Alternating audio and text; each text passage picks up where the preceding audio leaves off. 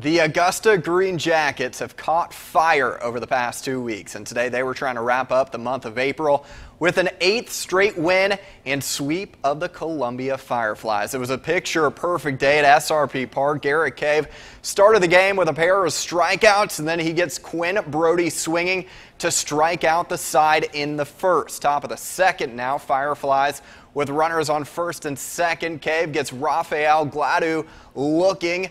He had seven strikeouts and four shutout innings of work. Top three now, runner on first. Caves pitch is in the dirt. Great pick from John Riley and Manuel Geraldo dives to apply the tag to get the out. Awesome effort there. The Jackets win 2 0.